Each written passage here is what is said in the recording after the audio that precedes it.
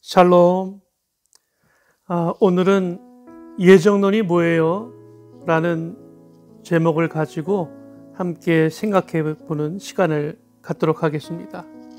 여러분, 칼빈, 깔뱅의 예정론 또는 이중 예정론이란 말을 한 번 이상씩은 들어보셨죠? 참으로 어려운 교리요, 심오한 신학 사상입니다만, 그저 우리들의 삶이 하루하루가 바쁘고 세상 일이 바빠서 관심은 있지만 깊이 생각해 볼 겨를은 없을 수도 있겠다 생각해 봅니다.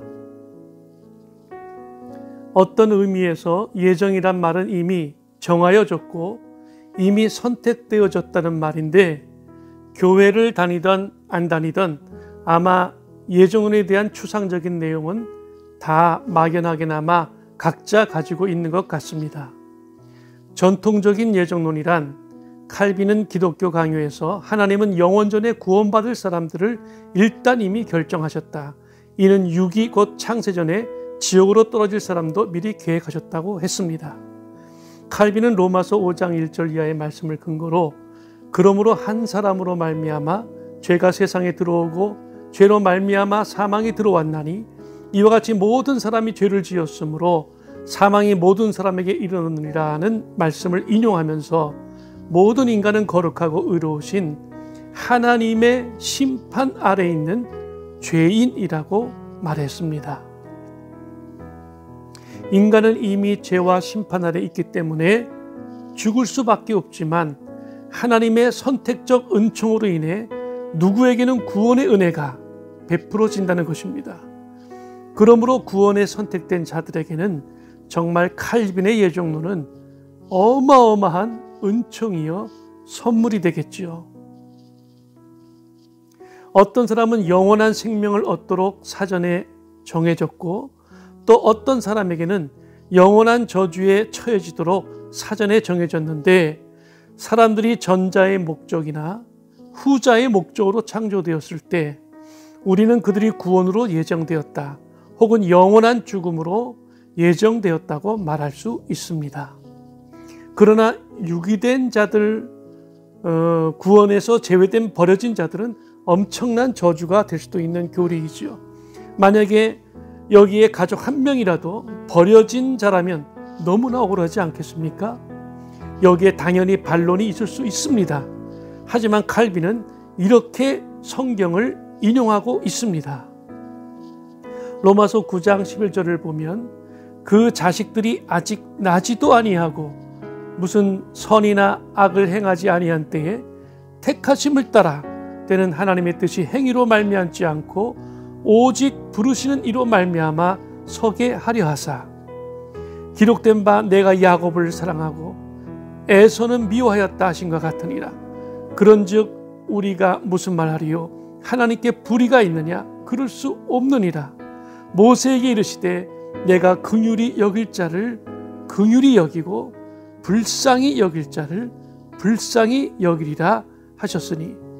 로마서 9장 20절에 이 사람아 내가 누구에게 감히 하나님께 반문하느냐? 지음을 받은 물건이 지은 자에게 어찌 나를 이같이 만들었느냐 말하겠느냐? 토기장이가 진흙 한 덩이로 하나는 귀 쓸 그릇을 하나는 천이 쓸 그릇을 만들 권한이 없느냐? 이렇게 말씀합니다. 다시 말하면 칼빈의 예정론은 구원과 관련되는데 은혜로 어떤 사람들은 영원한 구원으로 선택되었고 반면에 원죄로 인해 어떤 이들은 영원한 심판을 받도록 하나님이 내버려 두셨다는 것입니다. 전자는 무조건적 선택이라고 부르고 후자에 대해서는 유기라고 부릅니다. 이처럼 칼빈은 기독교 강요에서 유기 곧 창세전 지옥으로 떨어질 사람도 미리 계획하셨다고 했는데 칼빈이 하나님의 주권론과 은총을 가장 크고 중요하게 생각해서 그렇게 예정론을 주장했는지는 모르나 그렇다면 우리는 당장 전도할 필요와 선교할 사명은 다 사라지게 되는 엄청난 큰 모순을 가지게 되는 것 아니겠습니까? 여러분 이미 태어나기도 전에 구원의 은혜와 버려짐, 유기로 모든 것이 다 정해졌다면 굳이 어렵게 전도하고 선교할 필요가 있겠습니까? 이미 운명적으로 다 정해졌다면 굳이 교회를 안 나가도 구원받을 사람은 결국 구원받지 않겠습니까? 지금 이기적이고 죄를 마음껏 짓고 짓는 사람도 이미 구원받도록 정해졌다면 그는 마음껏 자유 의지대로 살아가려고 하지 않겠습니까? 하지만 칼 바르트는 예정론에 대해서 칼빈과는 전혀 다른 각도의 내용을 말하고 있습니다. 칼 바르트가 본 하나님의 예정은 하나님의 자기 규정을 의미한다며 하나님은 인간을 버리기로 예정하신 분이 아니라 인간을 선택하기 위해 스스로 십자가에서 버림받으신 예수님이시다라고 말하고 있습니다. 따라서 인간을 버리기로 작정한 전통적 예정론은 십자가에서 계시된 하나님의 모습과 하등 상관이 없다는 것입니다. 십자가에 계시는 하나님의 모습은 영원 전부터 예수 그리스도 안에서 인간을 선택하기 위한 결의이다. 결국 예수 그리스도의 십자가에 계시된 하나님의 본질은 사랑이라는 것입니다. 하나님은 자신의 본질과 위배되는 일은 결코 하실 수 없으며 그렇기 때문에 일군의 무리를 지옥으로 예정하는 하나님은 폭군의 모습이지 십자가에 계시된 자비로운 하나님, 사랑의 하나님은 결코 아니라는 것입니다. 선택과 육이라는 이중 예정은 하나님이 인간을 영원히 선택하기 위해 십자가에서 오직 예수님을 유기하신 사건이라고 전하며 하나님으로부터 버림받으신 분은 오직 예수 그리스도 한 분뿐이시라는 것입니다. 칼 바르트는 예수 그리스도를 하나님에게서 버림받으신 단 유일한 한 분이라고 했습니다. 바르트는 예정론의 근거내지 출발점을 예수 그리스도에게서 발견하고 있습니다. 즉 선택하시는 하나님인 동시에 선택받는 인간인 예수 그리스도와 함께 구체적으로 시작합니다. 그러므로 바르트는 인간 일반의 선택과 함께 시작하지 않고 예수 그리스도의 선택과 함께 시작합니다. 하나님은 예수 그리스도 안에서 자기를 계시하며 인간은 예수 그리스도 안에서 하나님을 인식한다는 것입니다. 다시 말씀드리면 하나님께서는 죄 지은 모든 인간을 선택하고 살리시기 위하여 성탄절에 이 땅에 말구이로 보내주신 예수 그리스도를 엘리 엘리 라마 사박다니 나의 하나님 나의 하나님 어찌하여 나를 버리셨나이까라고 처절하게 부르짖던 십자가에 달린 사랑하는 독생자 예수 그리스도를 대속적 어린 양으로 영원히 유기하셨다. 즉 버리셨다는 것입니다. 그러기에 하나님의 행위는 언제나 은총이고 선택인 것입니다. 전통적으로 예정론은 이중 예정을 말해왔습니다.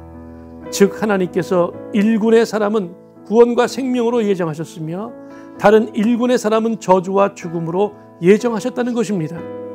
이에 대해서 바르트는 새로운 의미의 이중 예정을 말하고 있는데 하나님의 영원한 의지이신 예수 그리스도의 선택이 있어서 하나님은 인간에게는 선택을 즉 축복과 영원한 생명을 예정하셨고 삼위일체이신 하나님은 자기 자신에게는 버림을 즉 저주와 죽음을 예정하셨다는 것입니다. 이 얼마나 은혜롭고 큰 은총이며 얼마나 죄인된 우리 모두를 사랑하시는 하나님의 모습이십니까? 다만 하나님은 모든 일을 선택하셨지만 이 선택이 적용되기 위해서는 개인의 믿음이 요구된다는 것입니다.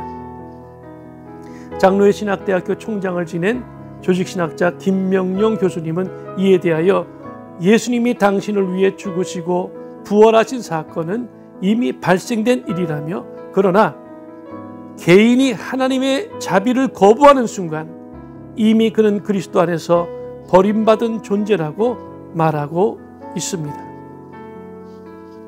이것이 바로 그리스도 안에서 영원히 폐기된 버림의 그늘이라고 말했습니다. 그러기에 하나님은 그리스도 안에서 모두를 택했지만 구원은 각 개인이 그리스도의 대속을 믿음으로 선택했을 때 구원되는 사건이라고 말했습니다. 결국 하나님의 선택과 유기는 각 개인이 믿음으로 예수 그리스도의 십자가 죽음과 부활을 받아들이느냐 마느냐에 따라 갈리는 사건이라는 것입니다. 이 대목에서 김명령 박사님은 칼빈이 예정론을 주장하기 위해 인용한 로마서 9장의 참 의도를 설명했습니다. 그는 하나님이 그분의 결단에 따라 야곱은 사랑하시고 에서는 미워하실 수 있는 것을 두고 이방인을 사랑하시기로 작정하신 하나님의 전적 주권을 드러내고자 한 말이라고 말했습니다. 당시 유대인은 선민 사상에 젖어 있었기에 이방인들이 하나님의 백성이 된다는 것은 상상을 초월하는 일이었다며 결국 로마서 9장은 하나님의 주권에 기인한 파격적 은총을 말하기 위해 기술됐다고 역설했습니다. 그래서 그는 이방인들을 사랑하시기로 작정했다고 해서 누가 감히 하나님을 힐문할 수 있겠는가? 라고 반문했습니다. 이 그릇은 우리니 곧 유대인 중에서뿐 아니라 이방인 중에서도 부르신 자니라. 호세야 그래도 이르기를 내가 내 백성 아닌 자를 내 백성이라 사랑치 아니한 자를 사랑한 자라 부르리라. 로마서 9장의 말씀입니다. 바울은 하나님께서는 오직 예수 그리스도를 믿는 믿음을 의로 여기고 유대인과 더불어 이방인까지도 하나님 백성으로 삼기로 작정하셨다고 말한 것입니다. 그러기에 로마서 9장과 10장은 하나님의 이중 예정을 전하기 위한 본문이 아닌 예수 그리스도를 믿는 자는 누구나 하나님의 백성이 된다고 말하기 위한 본문이라는 것입니다. 때문에 로마서 9장부터 10장은 예수 그리스도 안에 나타난 은총의 총화를 말하는 본문이며 바르트의 예정론은 칼빈의 이중 예정론보다 바울의 정신에 더 깊이 전맥돼 있다고 말할 수 있습니다. 한편 김명룡 박사님은 몰트만을 빌려 예정론은 신앙의 우연성과 무상성을 반대하는 교리라고 전했습니다. 즉 몰트만은 예정론은 우리의 신앙이 기계적으로 얻어지는 것 같은 관점에서 언급되면 안 된다고 강조하며 왜냐하면 그것은 인간의 자유의지를 근원적으로 파괴하는 결과를 낳기 때문이라고 밝혔습니다. 그러면서 그는 칼 바르트의 예정론은 우리가 자유로운 결정에 따라 신앙을 갖게 됐을지라도 이마저도 우연한 결단은 아님을 재차 말하고 있었습니다. 이를 위해 한 예화를 들어보겠습니다.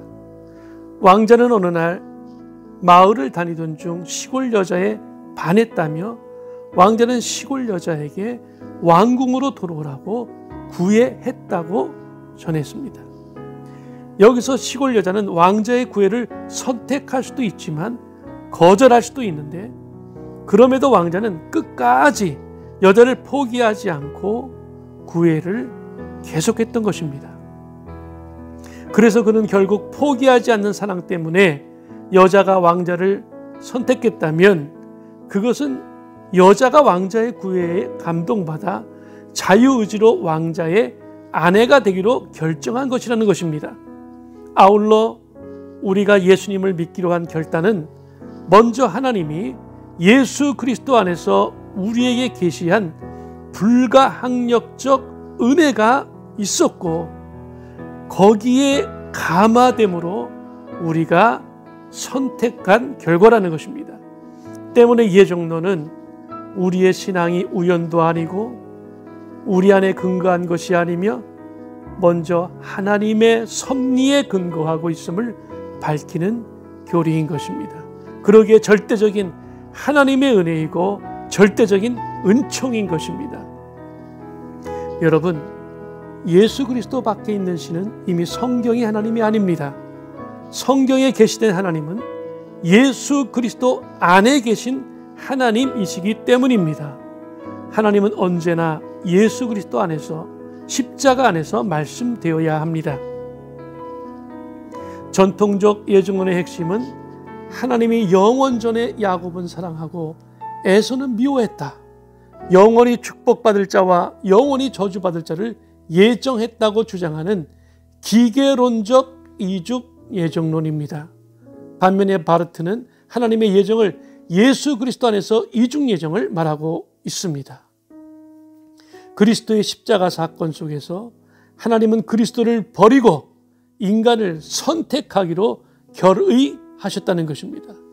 바로 여기에 하나님의 사랑과 하나님의 은총과 인간과 화해하기를 원하시는 하나님의 뜻과 하나님의 놀라운 사랑이 이 안에 담겨 있는 것입니다.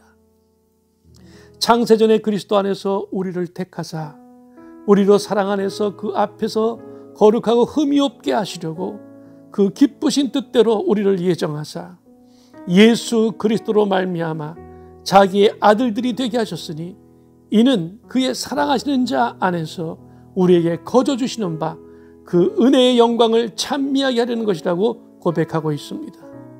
바로 여기에 그리스도 안에 있는 예정론의 신비롭고 놀라운 비밀이 있는 것입니다. 하나님께서 사랑하시는 여러분, 앞으로 이중 예정론 때문에 고민하지 마시고 이와 같은 하나님의 크시고 놀라운 은혜가 여러분과 가족 모든 분들에게 영원히 함께 하시기를 우리 주 예수 그리스도의 이름으로 축원합니다. 아멘.